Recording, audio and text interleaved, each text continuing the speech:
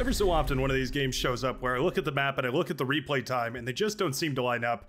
So I think that's exactly what we're going to do today is take a look at a match that was played on seven horses, or is it eight horses? Might be eight horses, actually. Ooh, Brightworks washed confirmed. Yeah, eight horses version 1.2, and see exactly what went down between these players here, spawning on this very strange lane-based map.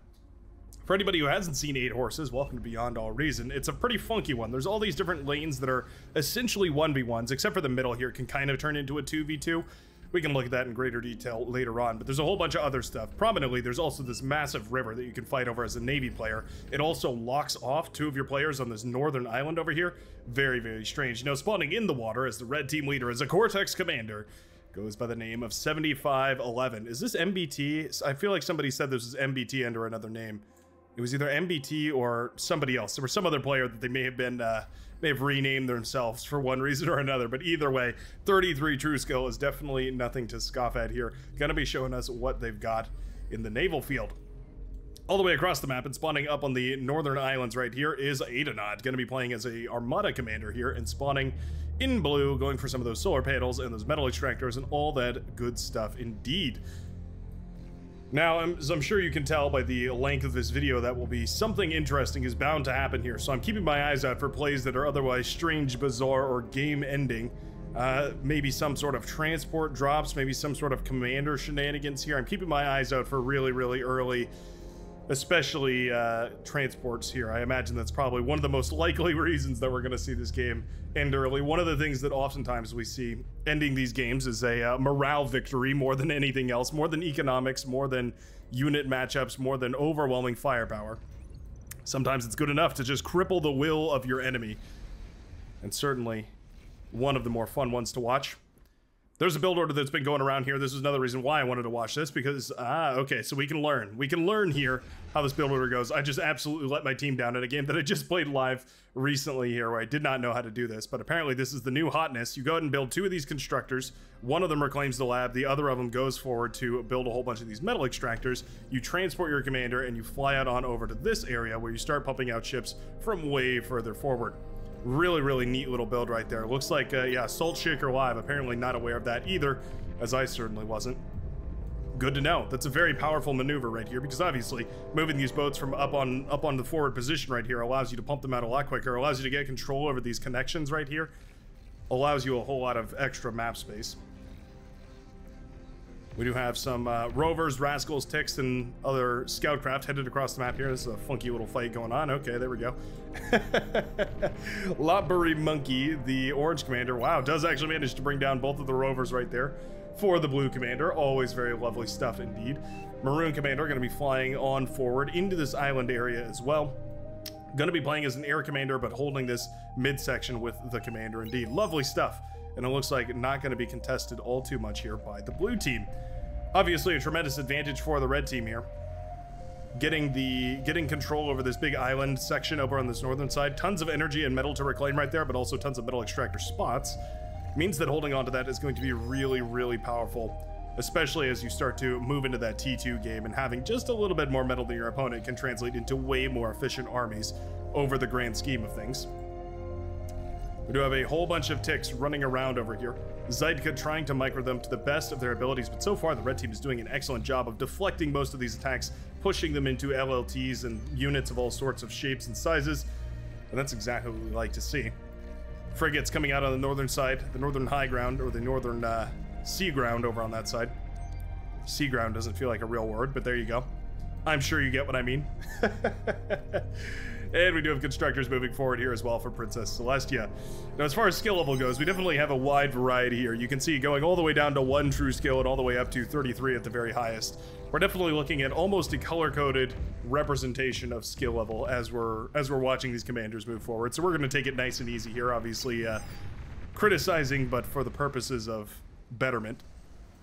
I gotta tell you, I've seen some disheartening stuff on the Reddit recently. I feel like I see these all the time about people complaining about the toxicity in this game. I was thinking about putting it, uh, putting out a tutorial. If you're a member of the Brightworks Discord channel, then you probably saw the discussion about that in the uh, main channel. Link down below in the description, by the way. Thinking about putting out a, uh, a video explaining how to set up noob lobbies so that some of the newer players don't have to jump into lobbies that say they're all welcome noob lobbies, but realistically have been long since commandeered by a higher skill player, effectively farming the noobs for open skill. Let me know if that sounds interesting to you down in the comment section. I'm always happy to read your guys' feedback. Let me know what you would like to see if maybe you're a noob at this game and you'd like to know some information about how to set up a lobby for you and your friends or just anybody of relatively the same skill level as yourself let me know what you would uh, what you would like to know, and I'm more than happy to set that up. Making bar accessible to everybody, that's definitely my goal. Rat Monkey and Bronet going to be working together right now. The brown and pink commander is going to be going up against Pillow and Zydka here. Definitely a little bit of a skill mass mismatch right here. 7 OS and 1 OS going up against 28 OS and uh, 31. Gonna be tricky to hold right here, so we'll have to see exactly what Rat Monkey and Bronut do get up to. These ticks roaming around the map are causing so much damage, though. Beautiful stuff. Oh. Oh. Alright, no D-gun from Moth right here. Uh, no D-gun from Moth right here. Oh, no. Moth's commander, apparently unaware of the almighty D-gun right here. One true skill, so we'll have a little bit of a coaching moment here. Hit the D button, pulls up your D-gun menu, and allows you to immediately obliterate any units that go out on the field. I still remember my first game of Beyond All Reason, learning what the D-gun was and how effective it was blew my mind to imagine that the commander was able to defend itself. I know. I know. Tremendous. Luitos and Bing Bing Bang gonna be going up against each other here. We do have some Janus tanks rolling out. Gotta be so careful with those bad boys. Or against those bad boys, I should say. Yeah, Luitos is pretty far forward. He does have a couple of aggravators here to try and contest this. Man, every time those Janus connect with the commander, it really does bring so much HP off of those poor, unfortunate souls. Every Janus missile every single time. Going to be really, really heavy damage. Effectively necessitating either Resbots to restore everything on the front line, or necessitating some sort of spam like ticks or grunts or anything like that to jump on top of those. Technically, Aggravators counter Januses. It's a bit of a strange matchup because you have to, as soon as the Janus turn around to run away, you have to move, march into fire, and then as soon as they turn around to try and fire at you, you want to back off. It's a very, very strange matchup, but there we go. Luitos, yeah, moving in right here gets the dig on one of those Janus, at the very least shutting down a little bit of that power right here for the yellow commander on the middle of the map. LOC cries out Salt Shaker live, and you can see exactly why. So many units have been produced right here, and then the fact that they hit the front line so much quicker just means that they can take out as many of these boats as they please, and then as soon as we get res bots up there, or res subs, pardon me, we can just eat all that up. I guess the commander really doing that for us right at this point. Looks like commander went down over here. Oh no, was that a... yeah, it looks like we managed to snipe the commander over here. I'm not even sure exactly how. Another commander falls over here as well. It's actually a trade. It's going to be Luitos versus Bing Bing Bang, and both of those commanders fall. But most of the units right here for the green and blue commanders do stay up and running. So at the very least, if we get a Resbot or another commander up there, eventually we'll be in a pretty good position. Celestia, maintaining control over the southern side. Looks like we've just been feeding units into these LLTs over here. Yeah, I see tons and tons of dead grunts. My goodness, loads of grave robbers here as well. Looks like we got a little greedy with the resurrection. And uh, it's going to mean that we net ourselves quite a few kills, and at the very least, that LLT is a hero. He'll be returning home with the metal wrapped around his long neck. Missile trucks. Decent against grunts, but certainly you have to have them in numbers. Not the case here. Blitz is trying to clean up this mess right now, but I think there's enough. Yeah, those thugs are very sturdy. Going to be really difficult for those blitzes to take down. And with those thugs pushing that back, going to be near impossible to hold this midsection of the map right now for the red team. Are we going to go for some sort of cheeky transition here? Maybe looking, sorry, trying to clear the drawings right now. Are we going to maybe look into maybe going for some sort of rapid onset air transition? Are we going to try and do some bombing right now? I don't see any bombers on the map yet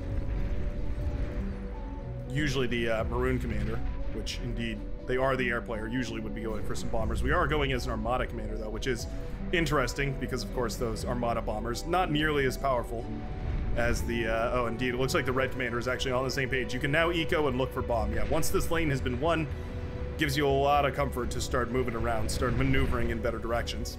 We do have a T2 transition up right here effectively paying for losing this front line right here with the T2 transition. Was it all worth it for YBB 100? I'm not sure quite yet. Meanwhile, Pillow pushing forward right now. Rat Monkey trying to hold the line. And again, those missile bots, or uh, missile trucks, pardon me, decent, very decent.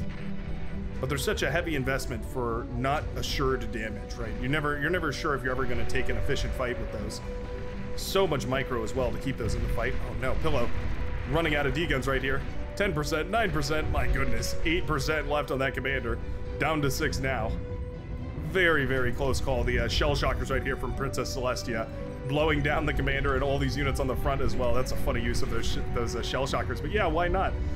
Using your shell shockers to fire over this mountain range and onto the forces of Pillow is so uncomfortable. Making that into a 2v1, really, but without Pillow actually realizing it, I think that is hilarious. At this point, missile trucks are built in enough numbers that we're starting to blast apart some of these cheaper units. The pawns, as well as some of these aircraft. Actually having these underneath the air wall over here and shooting down some of these T-1 airplanes is definitely quite nice. 7511 has won the naval field, by the way, and has thoroughly wiped their opponent off the map, going to mean that at least for the time being, the sea is well conquered by the red forces, cutting off the access from two of these commanders on the northern side, relieving pressure and spiraling this closer and closer towards the red team's victory. Despite very, very prominent early aggression right here from the blue team, it eventually didn't pay off when slowly but surely investment after investment was made into units that got traded out inefficiently on the front lines and we find ourselves here and now. Suddenly, missile trucks going on an assault run. Okay.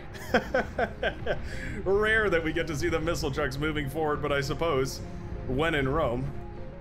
There you go. One by one, these pawns are being blasted apart here. How much damage does one of these do? It looks like it's about oh, I want to say maybe 15% damage per missile that's fired away right there.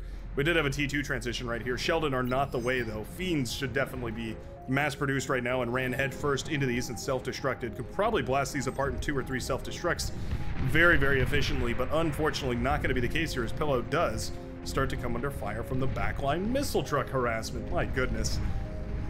What a bizarre match right here. A nice, beautiful multi-prong as well. Medium tanks to push forward through the line right here, abusing poor Moth, who has not quite learned the pace of the game, shutting down this base with that very, very early T2. That T2 transition that was funded with essentially nothing, neither a win of a positional advantage or a uh, any kind of reclaim advantage. Just like that, Celestia blowing apart two of her opponents right there on the southern side, mopping up a whole bunch of those wind turbines and continuing the aggression up north right here. Missile trucks for the win, my goodness. Missile trucks were not on my docket as ways to early close out the game, but I suppose if we're just going to ignore the issue for long enough, there you go. Missile trucks now in the back line and blowing things apart. There we go. Resigning votes called across the map right here. Pillow calls the resign vote. The blue player has already tapped out of this game, as well as the, well, entire rest of the blue team, and there you go. It wasn't a flashy comm drop. It wasn't a T2 cheeky risk. It wasn't anything like that.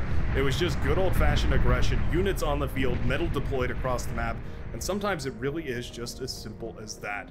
Maybe that's an excellent example of exactly why you got to put your feet out on the field, get your feet wet in the water, and maybe put your hand out on the front lines rather than going for that T2 advantage and it starts to win you games. Definitely a wonderful, wonderful match right here. If not a long one, definitely a concise one, showing us exactly how it's done. And I'm very glad to have seen how that naval build order goes because I'm going to try that out for sure in my next match. Sure hope you have a great rest of your day, and I will catch you in the next one. Peace out, everybody.